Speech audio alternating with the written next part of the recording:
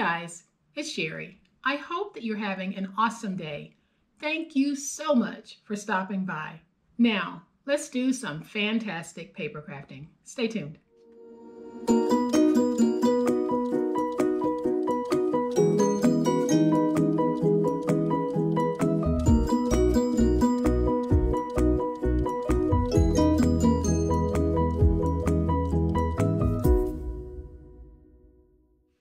So when is a box not a box? Well, the answer to that riddle is when it's one that has a dual purpose. Yes, this is a box that you can fill and gift, but even more than that, once the gift is taken out, you have a gift within a gift. And I'm going to show you exactly what I mean. But before I do, I want to thank everyone who's here with me watching this video. I really do appreciate it. I think there was some confusion when I launched my membership club that you would not be able to receive my complimentary videos six days a week. And that isn't the case. I will still be on making videos for anyone who wants to watch them. And the membership club is an extra step to the channel. So you don't have to be a participant in the membership club to watch my complimentary uploads that I put out five to six times a week. Those are out there and you can watch them anytime that you want without being a member. But if you are interested in becoming a member in this fantastic membership program that I've launched, um, hit the join button if you see it and you can check out everything that I'm offering. Or if you need for me to send you a link to be able to join, just follow the instructions in the description box. So back to this dual purpose box. I am going to open this up so that you guys can see, yes, this is a box that you can fill with all types of goodies because we have a lid and a base. But as you can also see, there is something more to this box. And that's because the top and the bottom are both removable. And when you remove them, your box opens to become this awesome scrapbook frame that you can take and sit on your mantle. You can sit it on your desk. This is such a great way to gift because you've already placed a gift in the box. Then when the gift has been removed from the box, the box becomes the gift. Now we've got tags that you can write on or tuck little pictures in. You've got two pockets where you can tuck all types of goodies. And then you have two mats here in the center where you can place photographs. And I do love this. The back side, this is the outside of our box. How cute is that? This is the inside of our box and it's very sturdy because we're using the poster board and we're mounting mats on top of mats. So that adds to the sturdiness of it. But what I love is the fact that the gift box becomes the gift. I just think that's fabulous. So I am just going to take my little project and turn it back into a box. So all we do is tuck it inside of our lids, put our lids on, and we have our sweet gift box that is also a gift. Guys, how cool is that really? So I'm going to take this and set it to the side and we're going to make it. So here is everything that we're going to be using on this project. There are a lot of small pieces, so I am not going to go over everything right now. I will go over it as we get to that part of the project. So here is how our project is going to begin. It's actually going to begin with the poster board. So I'm going to be starting with an 11 by 14 inch piece and I am going to cut that down to a five and a half by 14 inch piece. So if you don't have poster board, you just need to join two pieces together so that your finished measurement is five and a half by 14. And then I am going to be using this sticker sheet, Winter Market, and I'm holding it up so you guys can get the SKU in case you want to look for this. Okay, so let's get started on scoring and cutting the body of our box. And because my poster board is longer than my scoreboard, I am going to actually score this so that I can end up with the base for two boxes. So the first score that we're going to make is going to be at one, and we have it in on the 14 inch side. So the first score is at one, the second score is at four and a quarter, the third score is at seven and a half, and our final score is at 10 and 3 quarters. So your scores are 1, 4 and a quarter, 7 and a half, and 10 and 3 quarters on the 14 inch side. Then all I'm going to do is take this and fold it so that I can then put it in my trimmer and trim this down to five and a half.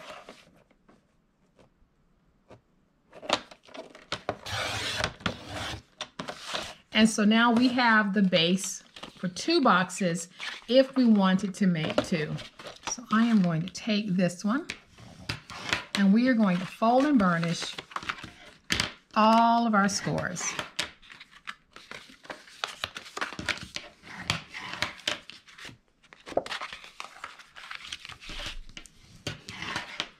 And then once we have our scores folded and burnished, we are going to bring in our cover mats. And these mats that I'm starting with, I will have eight pieces that measure three by five and a quarter.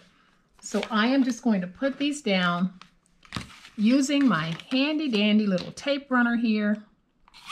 So all I'm going to do is run some tape along the back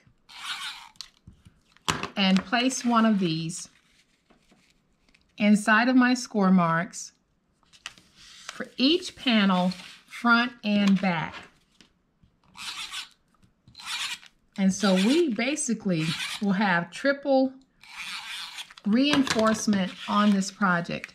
So all I'm doing is taking my mats that measure three by five and a quarter, and I'm putting them down, trying to get them even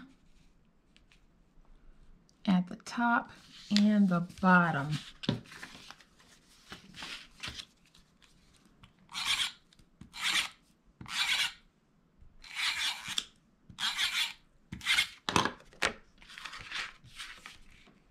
And I'll take this one. We're going to match it just like that. And then we'll take this one and place it down. I don't know about you guys, but there is just something about the sound of a tape runner that I absolutely love.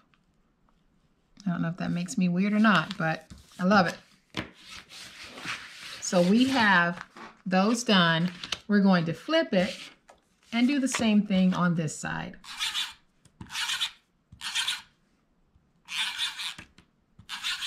And guys, if you decide to make this project, please post pictures on Instagram using the hashtag Posh Paper Lady Inspired because I would love to see your take.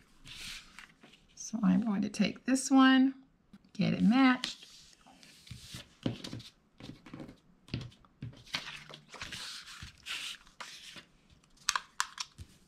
My tape on my mat.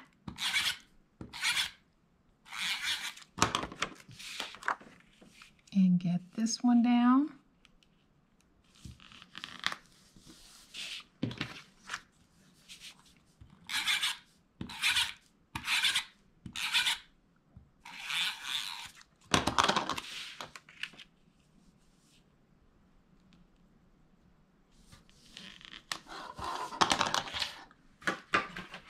And now that we have all of our main mats down, I am just going to use my big old spatula to go over these to get them stuck. So now I am going to bring in four mats that measure four and seven eighths by two and three quarters, and we are going to place those down on top of each one of our inside panels. So I am going to take my tape runner again trying to get it centered.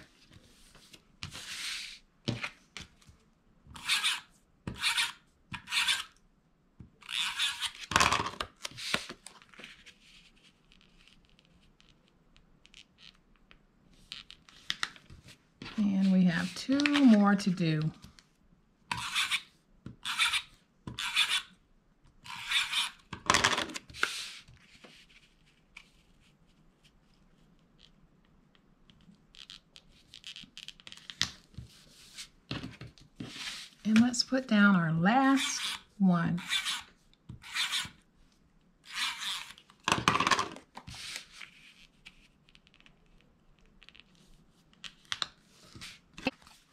So now that we have those down, we have a very sturdy base to our box.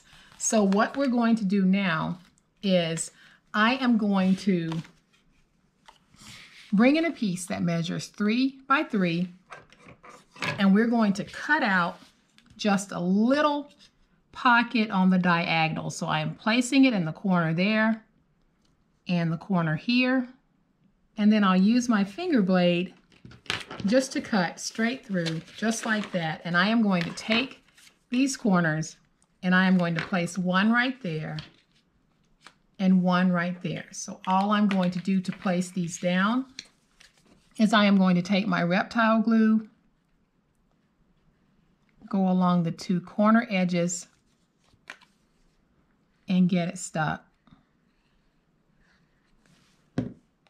And then I'll take it and I'm going to put it right in the corner of that blue mat. And then I'll get this stuck. I am going to use my handy dandy paper towel to wipe up any excess glue. And then I'll go along that with my big old spatula to make sure it stays stuck. And now I'm going to take this one and do the same thing. So I am going to take my glue and just run my glue as close to the edge as I can. And then I'll take this piece, place it in the corner of the blue piece,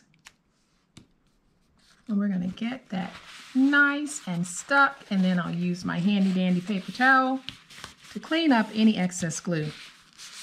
And I know you guys, and I know that y'all are going to come up with some fabulous ways to do this. This is just a little guide here, but you can alter it and just come up with all types of wonderful ways to make this your own. So now that we have this down, we're going to go ahead and take two pieces that measure three quarters of an inch by five and a quarter, and we're going to place one here and one on the back side there. So I am going to take my tape runner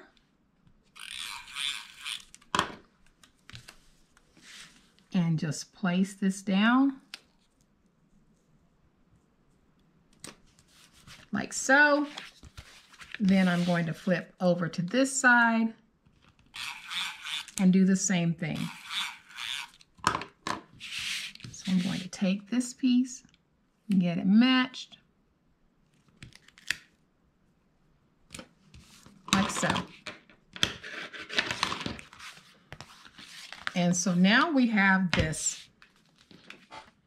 So now guys, I am going to bring in some little mats so that we can make tags for the inside here. And so what I'll be using is I have two pieces that measure 3 and 5 eighths by 2, and these are decorative pieces that match my project main color piece and then I have four pieces that measure 3 and 5 eighths by 1 and 3 quarters. So what we're going to do is we are going to take our tape and take our white mats that measure 3 and 3 eighths by 1 and 3 quarters, and I'm placing one on the front. Then I'm going to place one on the back.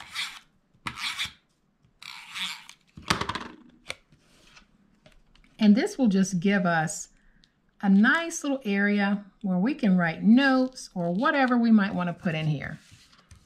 So that one's going to go there. Then I'll bring in my second piece of 3 and 5 eighths by 2 inch mat base. And I'll bring in my first piece of 1 and 3 quarters by 3 and 3 eighths inch white piece. And we're going to place that down. And then I'll flip it over. And we're going to take that second piece and do the same thing. So now we have two mats looking pretty sweet. So at this point, the only thing that we have left to do really is to decorate and make the lid. So before we make the lid, I am going to bring in my decorative stickers and I'm just going to do some decorating on this project. So I think that what I want to do is I am going to take this sticker that says warm, cozy, and bright. And we're going to place that right there. And then I'll take this one that says just for you. And we're going to place it right there. Then I want to place some stickers right in that white space there. So I am going to take this one that says Snow Much Fun and I'm going to place it towards the top this time. And then I'm going to take this one that says Let's Stay In and I am going to place it towards the top, but I want to make sure that I have it nice and straight. Now I can take my tags and put my tags in just like that. But before I do, I am going to add just a little something to my tag. And I think that might be too big. So I am going to find myself just a little sticker. This one says Snow Fun. and I'll place that there. Then I'm going to take my other tag and I am going to find, I'll use this one that says let it snow and we're going to place it right there. So now I can take that and I can tuck those in just like that. Then I want to place something decorative right along the bottom. It doesn't have to be a whole lot of anything. And I think what I'm going to go with, I am loving these Christmas trees.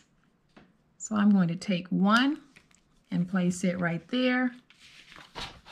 And then I am going to take this one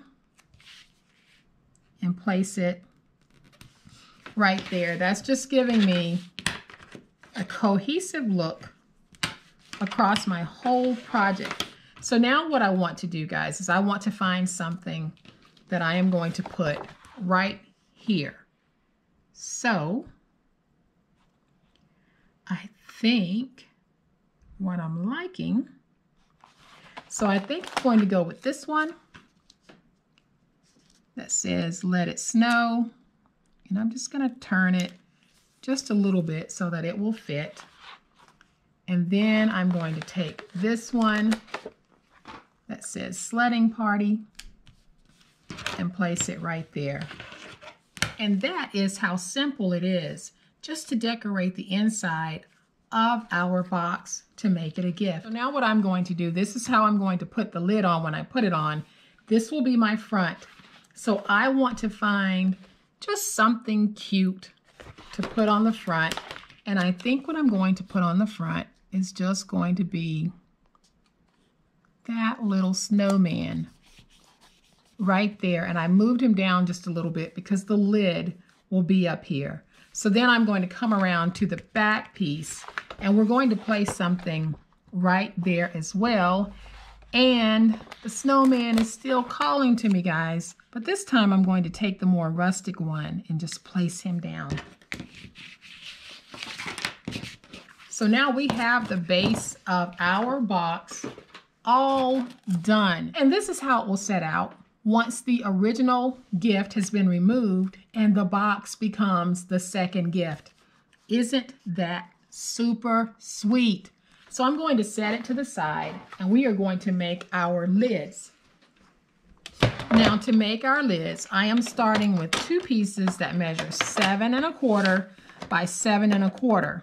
And I'm going to give you guys an alternative measurement in case you want your lid to be looser than the one I'm making. I'm making my lid to be very snug. That's why I'm using a seven and a quarter by seven and a quarter um, inch piece to make those lids. If you want a looser lid, just slightly looser, cut your paper at 7 and 3 eighths by 7 and 3 eighths and do exactly what I'm doing here. Score at 1 and 2. It's all in how tight you want your lid and I'll show you the difference in just a minute but I'm going to go ahead and score both of my papers at 1 and 2 and these are 7 and a quarter by 7 and a quarter.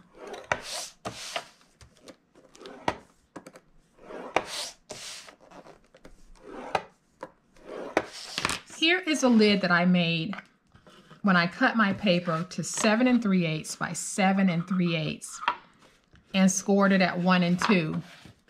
And it does fit my box, but it's a little bit looser than I want. I wanted my lid on this to be very snug. I would be fine with this on any other project, but I don't want the base to be loose. So I went with a very snug lid and I started with the piece that measures 7 and a quarter by seven and a quarter and scored at one and two on all four sides. So now all we need to do is fold and burnish all of our scores.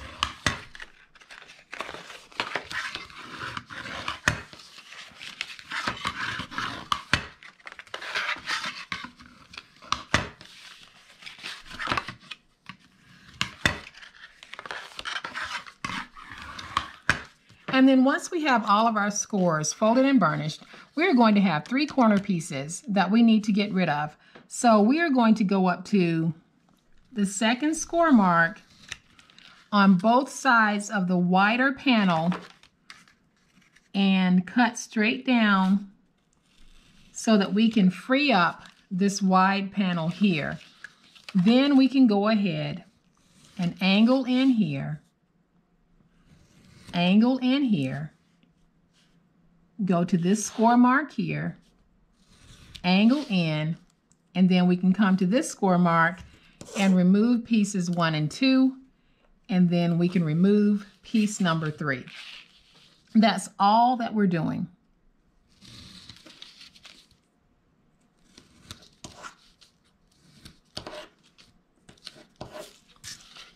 So we'll come over to this side we are going to go to this score mark here because we're working on freeing up that wide panel and we'll go up to that second score mark and drag straight down.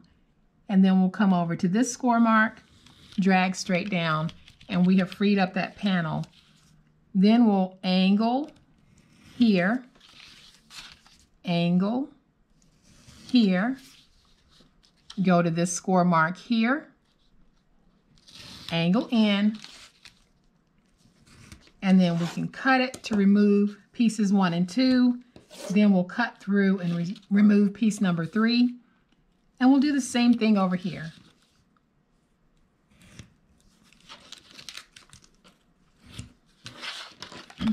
And then what I want to do is I want to make sure that all of my flaps, the outer flaps, have a slight angle to them.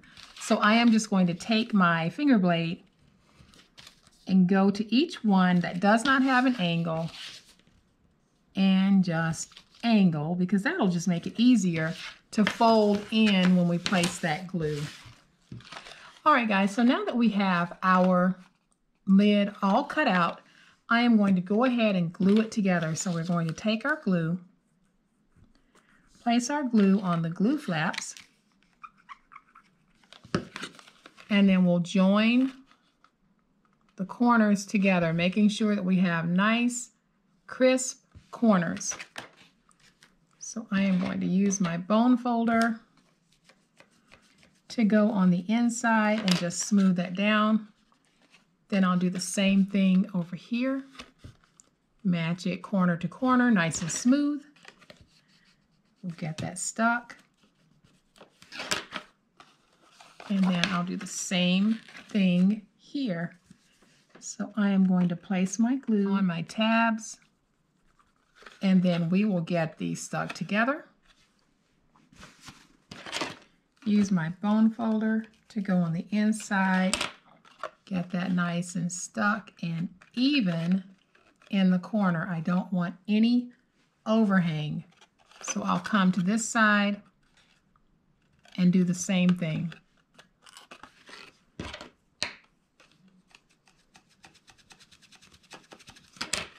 So now I'm going to fold my outer pieces backwards. And then I'll take my glue and we're just going to put a little bit of glue on these outer pieces.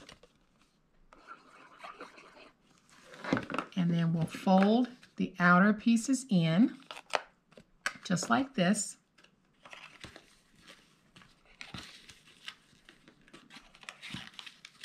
Then we can use our bone folder and just go inside and get them all stuck. And then just make sure that you go around it a few times on the inside just to make sure you have a really good stick on those inside flaps. And we have two pieces that we're going to put on the lids that measure three by three. And I am just going to take some tape.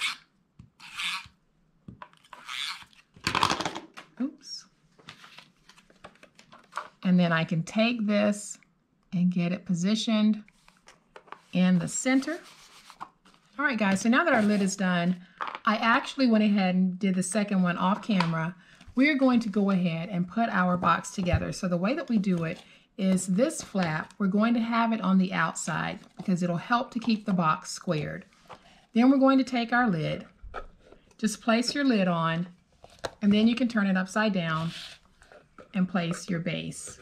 And so now that we have our lids on, we're going to have a very beautiful box gift to give. The last thing that I am going to do to mine, very simple, I am just going to add this beautiful Anna Griffin bow. And if you're interested in these bows, annagriffin.com you can find plenty of beautiful, beautiful classic embellishments on her website. So now that we have this box all done, isn't it beautiful? I absolutely love it. And again, when we take off the top, we take off the bottom, our box becomes a gift. Perfect. And remember the two different lid size measurements that I gave you in case one lid is a little bit snugger than you want or looser than you want. Just kind of play around with it. But here we have a most gorgeous, gorgeous gift. And I am going to bring my first one back into frame so that you can see how our box looks when it's closed. This is how it looks when it's open and the box becomes a gift.